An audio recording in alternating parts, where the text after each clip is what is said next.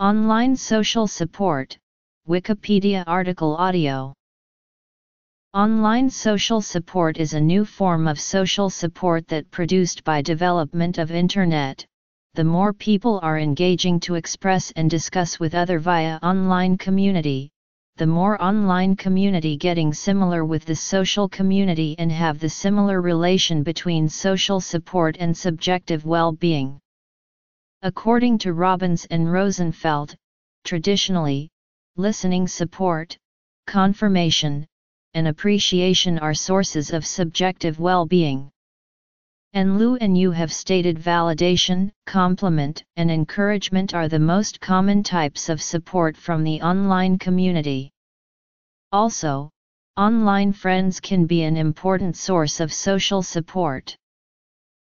Moreover, the number of Facebook friends associated with stronger perceptions of social support, which in turn associated with reduced stress, and in turn less physical illness and greater well-being which found by Nabi and so.